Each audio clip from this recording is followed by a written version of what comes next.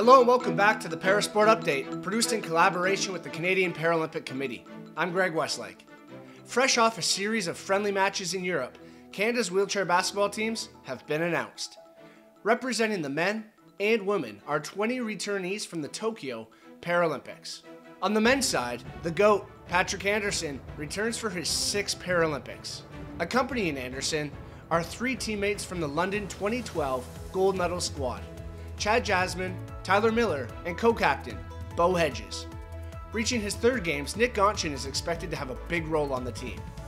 On the women's side, the team is led by captains Tara Llanes and Cindy Ouellet, who is selected for her fifth games. Joining them is Kady Dandeneau and veterans Arinn Young, Melanie Hawtin, Rosalie Lalonde, and Tamara Steeves.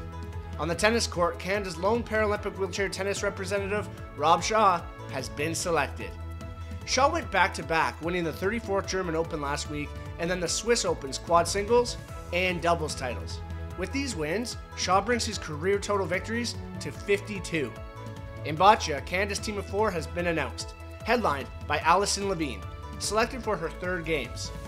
Joining her are 2023 Parapan Am medalists Iulian Ciobanu, Danik Allard, and Lance Cryderman. That's our time for this edition of the Parasport Update. Check back next week for more news from the world of adaptive sports.